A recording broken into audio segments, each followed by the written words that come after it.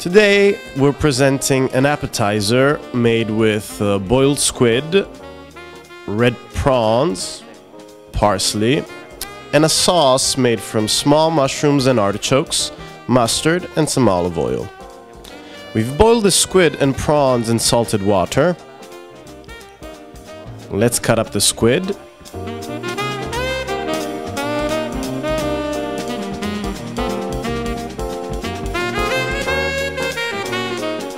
Let's use the tentacles too.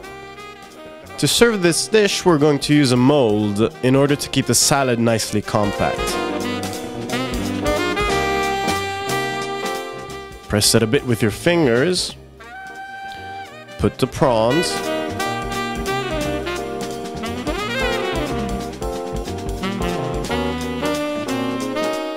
There to give some color. Add the sauce a pinch of parsley,